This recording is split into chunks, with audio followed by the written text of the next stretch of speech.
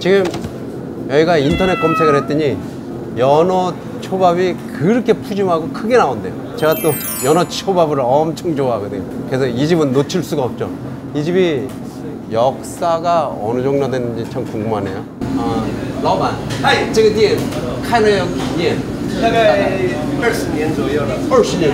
이 집 오픈한 지 20년이 넘었답니다. 어, 꽤 오래됐네요. 오, 오, 야. 와, 이거 장난 아니죠? 这是一人份吗?对，这是一人份。 오, 이게 1인분이래요. 이거 웬만한 사람 한 접시 먹으면, 어, 배 안 부를 사람이 있겠어요? 아, 장난 아닌데요? 우와! 이게 연어초밥 하나 크기입니다. 제 손, 제 주먹. 아, 장난 아닌데요?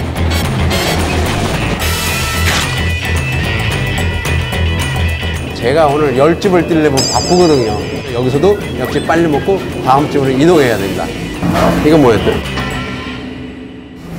연어 막기. 어이.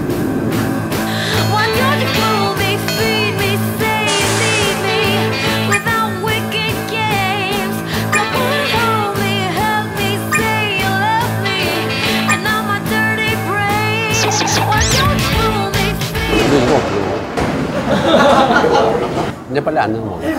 빨리. 이거 하나만 남겨두고. 저희가 만약에 같이 도와드리면은 포장을 못 받으실 아이, 그래. 다 간다. 빨리. 아이. 내가 이따가 저녁에 맛있는 거 맥주 사줄게. 우리는 팀이잖아. 유재한 씨 지금 사실 막강하거든요. 경기할 사람은 예, 유재한 씨 한 사람인데. 이거 40개 모으면 되는 거 아닙니까? 예, 껌입니다, 진짜.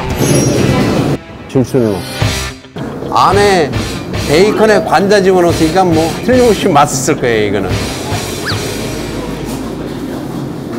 음 베이컨의 짭짤한 맛, 맛하고 가리비의 또 부드럽고 신선한 맛이 이거 씹었을 때 같이 섞이면서 조화가 참 잘 돼요 참 잘 어울려요